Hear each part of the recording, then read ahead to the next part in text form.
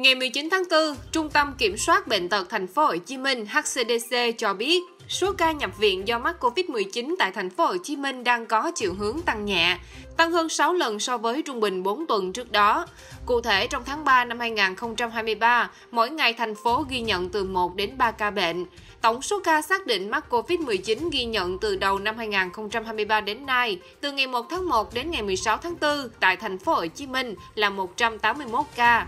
Về độ nặng của bệnh, nếu như ngày 7 tháng 4, toàn thành phố chỉ ghi nhận 2 trường hợp nhiễm cần hỗ trợ oxy, thì đến ngày 16 tháng 4 đã ghi nhận 13 trường hợp nhập viện cần hỗ trợ oxy. Mặc dù số ca mắc Covid-19 nhập viện tại thành phố Hồ Chí Minh bắt đầu có dấu hiệu tăng nhẹ, nhưng hầu hết tập trung ở người cao tuổi.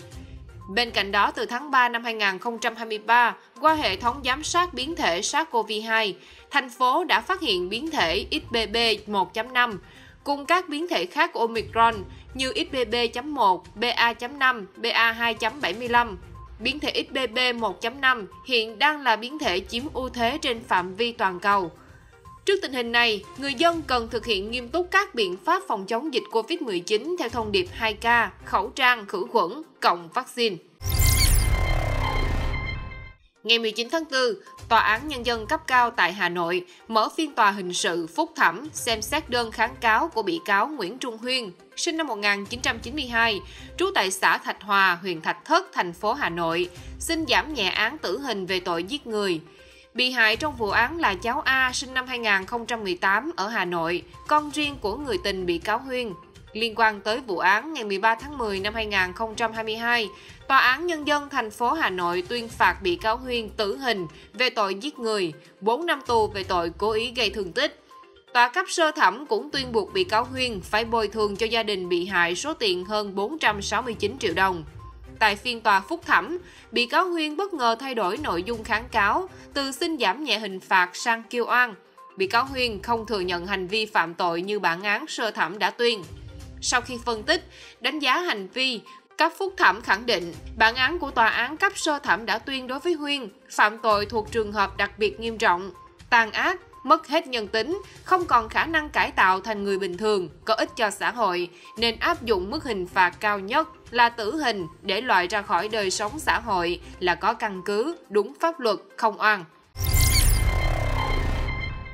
Ngày 19 tháng 4, Công an huyện Bảo Lâm, tỉnh Lâm Đồng đã khởi tố vụ án, khởi tố bị can và bắt tạm giam 3 tháng đối với Tạ Duy Phước, 39 tuổi, cán bộ chi nhánh văn phòng đăng ký đất đai huyện Bảo Lâm thuộc Sở Tài nguyên Môi trường Lâm Đồng để điều tra về hành vi giả mạo trong công tác. Tạ Duy Phước đã lợi dụng chức vụ để làm sai lệch hồ sơ đăng ký biến động cấp đổi đường giao thông và tách thửa trái quy định của pháp luật – cũng liên quan đến vụ án, trước đó vào ngày 8 tháng 3, Công an huyện Bảo Lâm đã khởi tố vụ án, khởi tố bị can, bắt tạm giam Lê Văn Sáng, 44 tuổi, ngụ quận Hoàng Mai, thành phố Hà Nội, nguyên là trưởng ban dữ liệu cơ sở Trung tâm Kỹ thuật Công nghệ Địa chính thuộc Cục Đất đai Bộ Tài nguyên Môi trường, Đỗ Ngọc Châu, 38 tuổi, ngụ huyện Thường Tín, thành phố Hà Nội, nguyên là Phó trưởng ban dữ liệu cơ sở Trung tâm Kỹ thuật Công nghệ Địa chính thuộc Cục Đất đai Bộ Tài nguyên Môi trường. Và Lương Công Vũ, 38 tuổi, nguyên công chức địa chính thị trấn Lộc Thắng, huyện Bảo Lâm để điều tra làm rõ hành vi nhận hối lộ. Điều tra ban đầu cho thấy các bị can Sáng, Châu và Vũ cùng nhau móc nối làm sai lệch hồ sơ trong quá trình chỉnh lý, cập nhật biến động hồ sơ địa chính trên địa bàn thị trấn Lộc Thắng. Sau thời gian tạm dừng cưỡng chế do dịch Covid-19, đến nay doanh nghiệp tư nhân xây dựng số 1 tỉnh Điện Biên đã tự nguyện tháo dỡ 78 căn hộ tại chung cư Mường Thanh, Đà Nẵng. Dự án tổ hợp khách sạn Mường Thanh và căn hộ chung cư cao cấp Sơn Trà do doanh nghiệp tư nhân xây dựng số 1 tỉnh Điện Biên làm chủ đầu tư, có quy mô 42 tầng và 2 tầng hầm. Theo giấy phép xây dựng tầng 2, 3 là tầng để xe, tầng 4 là hồ bơi, tầng 5 là nhà trẻ và sinh hoạt cộng đồng. Nhưng chủ đầu tư đã xây dựng thành các căn hộ chung cư, với tổng số căn hộ tăng thêm 104 căn. Ngoài ra tại các tầng 25, 35, 41 và 42 cũng bị xây dựng trái phép nhiều hạng mục nên đã bị buộc tháo dỡ. Ngày 19 tháng 4, khu bảo tồn thiên nhiên văn hóa Đồng Nai phối hợp với huyện Vĩnh Cửu, Đồng Nai đã tổ chức cưỡng chế tháo dỡ các công trình vi phạm hành lang bảo vệ hồ chứa thủy điện Trị An, xã Mã Đà, huyện Vĩnh Cửu. Theo ghi nhận, đoàn cưỡng chế đã tháo dỡ lều, gỡ bóng đèn, sân khấu tại cơ sở nắng glamping, trả lại hiện trạng cũ. Tại khu cắm trại cây dừa, các trụ cây xích đu cũng bị tháo dỡ làm thông thoáng mặt hồ. Còn tại Lạc Glamping,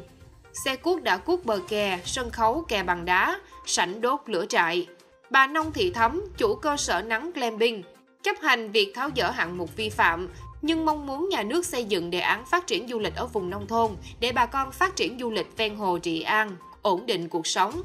Ông Trương Đình Minh, Phó hạt trưởng hạt kiểm lâm khu bảo tồn thiên nhiên văn hóa Đồng Nai cho biết, du lịch tự phát ở Mã Đà làm trên đất vùng bán ngập, đất giao cho xã Mã Đà quản lý và đất khu bảo tồn giao khoán cho người dân. Hiện phải chờ đề án du lịch của khu bảo tồn được phê duyệt mới xác định được địa điểm làm du lịch và làm như thế nào thì phải có hướng dẫn cụ thể của sở ngành địa phương.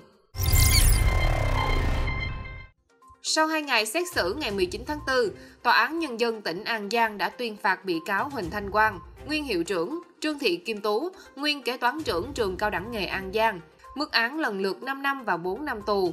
Cụ thể, hai bị cáo Quang và Tú đã chi thanh toán cho đối tượng không được hưởng chế độ thâm niên nghề nhà giáo và chi phụ cấp 25% cho 145 cán bộ nhân viên làm nhiệm vụ văn phòng quản lý không trực tiếp giảng dạy với tổng số tiền gần 2,3 tỷ đồng từ nguồn ngân sách nhà nước cấp và nguồn thu từ sự nghiệp. Ngoài ra, bị cáo Quang còn chỉ đạo bị cáo Tú chi cho các đối tượng không thuộc đối tượng hưởng chế độ phụ cấp ưu đãi giảng dạy hơn 5,3 tỷ đồng.